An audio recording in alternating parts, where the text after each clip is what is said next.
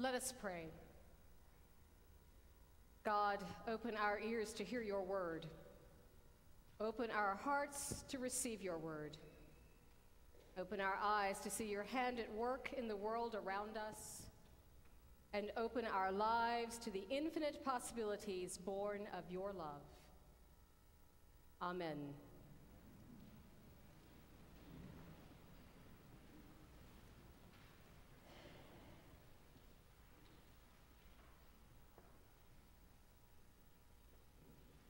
It all happened in a matter of moments. It was a Friday evening that seemed like every other Friday evening in Paris. People were off to do the things that we do on a Friday evening go catch a soccer game, go out to dinner, go hear a concert just go out and have some fun. But this Friday evening would be unlike any other Friday evening.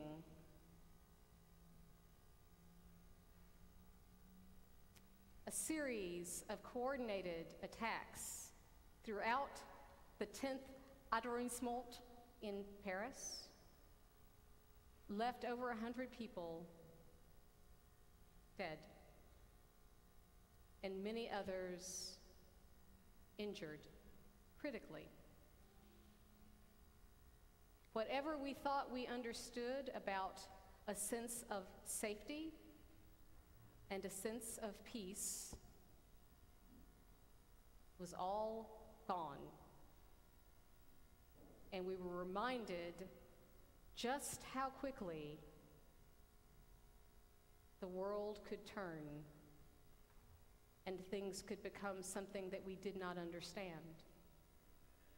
What almost went under the radar in the midst of all of that was that just the day before, in a residential area of Beirut, nearly 40 innocent civilians had also been killed and many others, scores others, left wounded.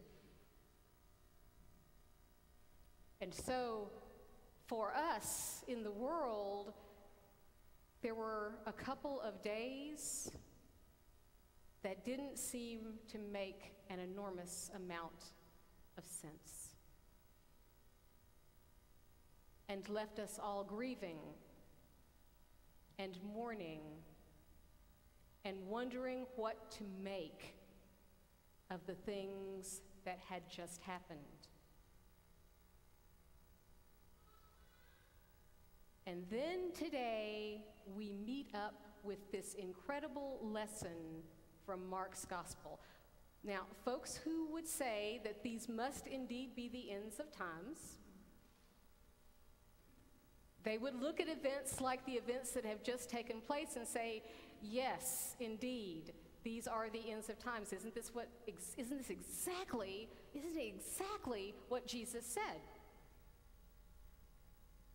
So we pull apart this lesson from Mark this morning as we're all still reeling from what's happened in these last few days to try to see what this lesson has to tell us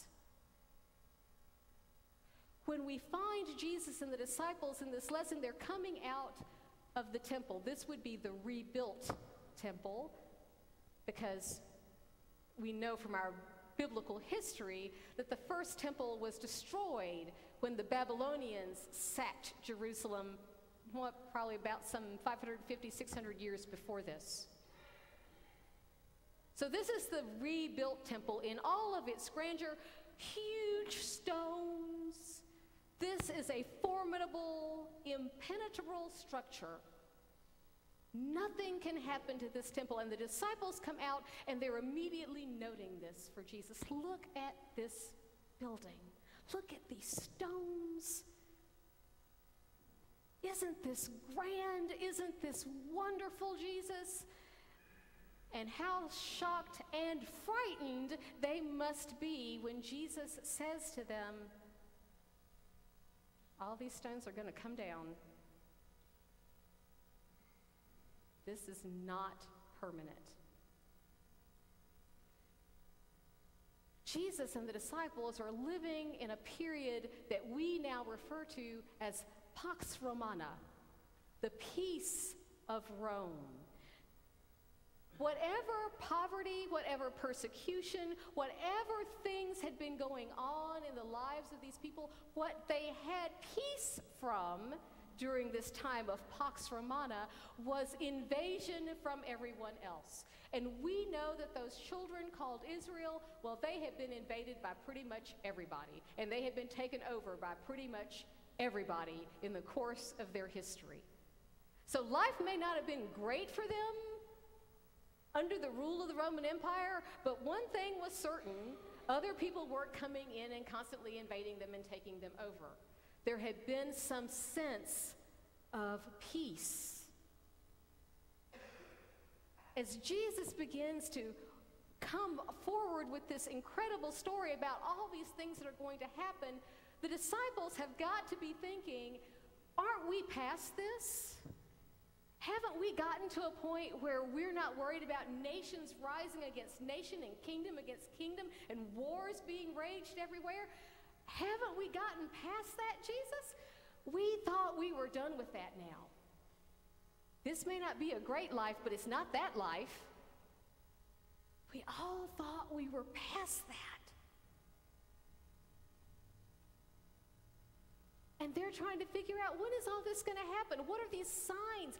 Jesus, this doesn't make any sense. Because life is hard enough as it is. And the notion that it's going to get worse, that's not good news. Where's the good news in that? Where's the good news in that?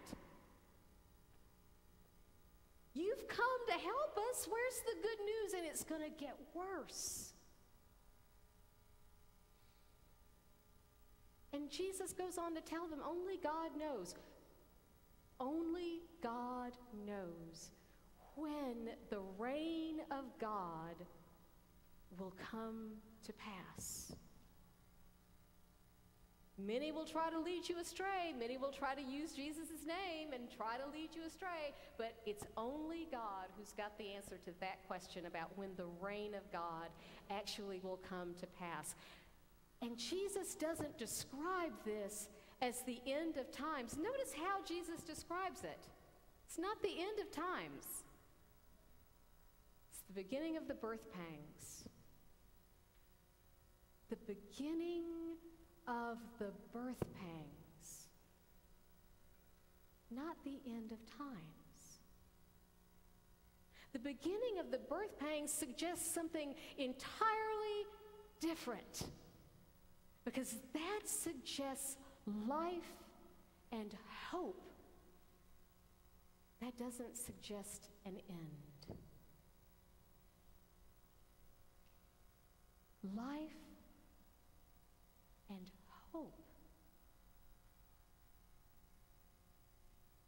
This lesson is paired rather magnificently today with our Old Testament lesson from the first book of Samuel. And I want to spend a little time talking about Hannah today because here is somebody who's desperate for birth pangs, isn't she?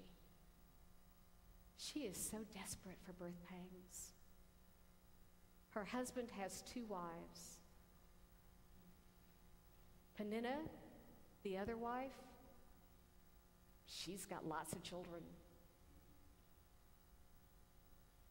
But Hannah, we're told in this particular text that God has closed her womb.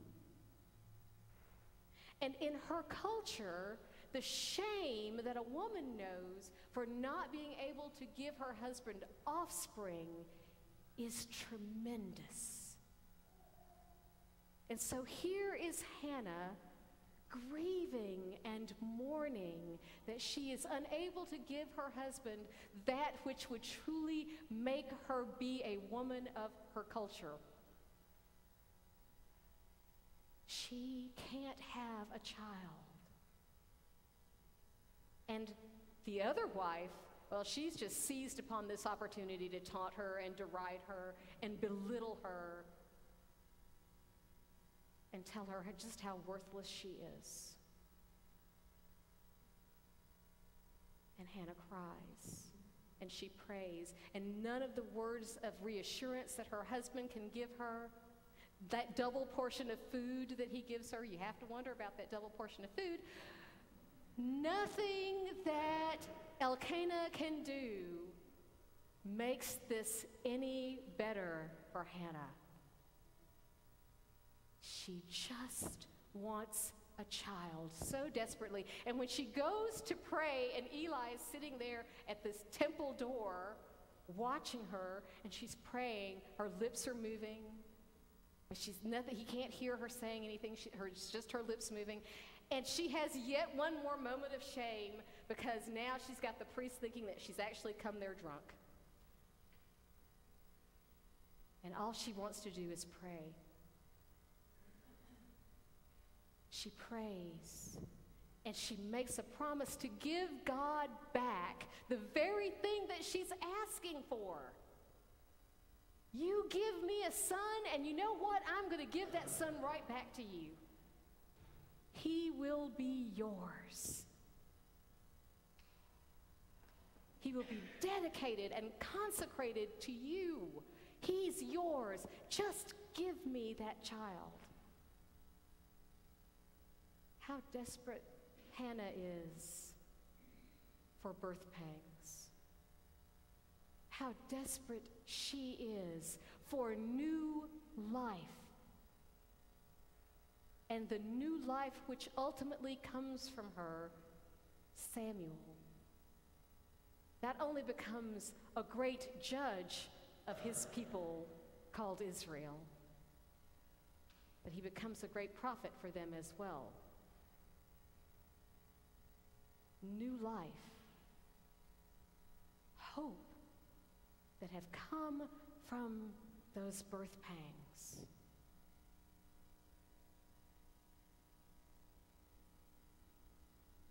It's more than fascinating that Jesus uses this metaphor, the beginning of birth pangs, to describe the coming of the kingdom of God. These are not end times, these are the beginnings. This is the time of new life, this is the time of grace. And a time for God's people to remain faithful, to not be led astray by those who would call God's name but not understand. And it puts us in the same place as the disciples, doesn't it? Because we live in our own kind of Pax Romana. We do. We live in our own sense of Pax Romana, that there's a relative sense of peace, at least around us. Around us, there's a relative sense of peace and calm. And the notion that things are going to get worse, that there are going to be earthquakes and famines and war and nations raising up against other nations, well, that doesn't sound very good to us because that sounds like a disruption of the peace that we think we know. And yet, it is through that pain that Jesus tells us that the kingdom of God will be ushered in. Not through our comfort, but instead through our discomfort. That's hard to hear. That's hard to want to accept. So, what do we do now? What do we do? What do we tangibly go out and do? I'm sure that some of you have seen the video message from our new presiding bishop.